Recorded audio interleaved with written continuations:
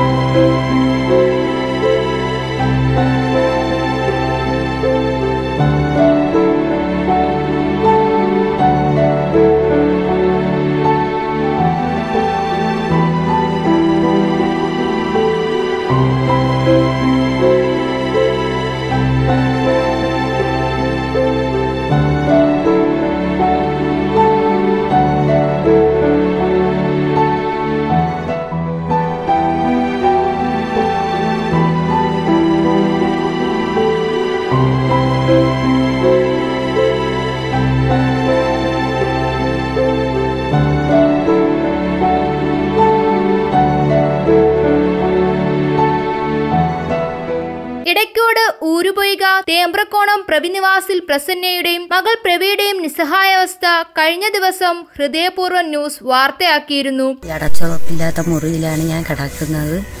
ഞാനും എന്റെ മോളും പ്രായമായ പതിനാറ് വയസ്സ് പൂർത്തിയായ മോളാണ്. അതുകൊണ്ട് നമുക്ക് മഴയത്ത് കിടക്കാനും ഇരിക്കാനും ഒന്നും ഇടാവില്ല ഞങ്ങൾ അയലോകത്ത് വീട്ടിലാണ് പോകുന്നത്. അതുകൊണ്ട് ഞങ്ങളെ ആരെങ്കിലും വല്ലതും സഹായിക്കണം.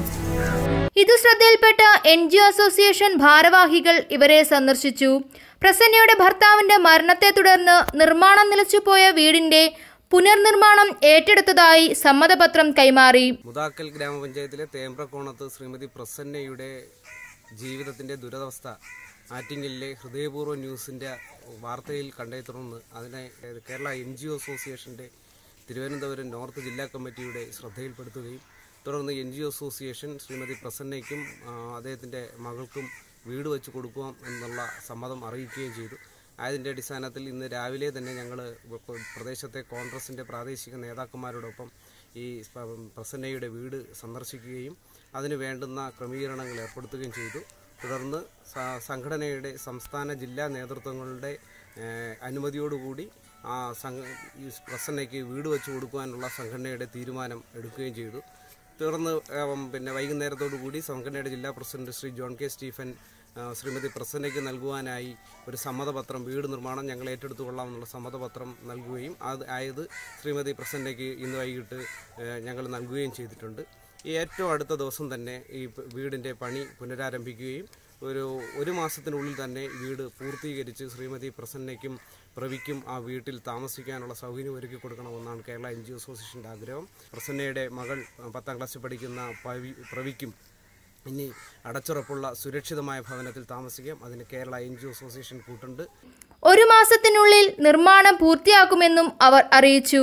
ഇത്രയും നാളെ ഞങ്ങൾ ഇങ്ങനെ കിടന്നത് സാറ് വന്ന് ഞങ്ങളുടെ വീട് വെച്ച് തരാൻ സമ്മതം തന്നതിൽ നന്ദി. അസോസിയേഷൻ ഭാരവാഹികളായ സജിമോൻ രാഹുൽ ബ്ലോക്ക് പഞ്ചായത്ത് പ്രതിപക്ഷ നേതാവ് ഇളമ്പ ഉണ്ണികൃഷ്ണൻ സുജിത് തുടങ്ങിയവർ സന്നിഹിതരായിരുന്നു. H P news Attingal.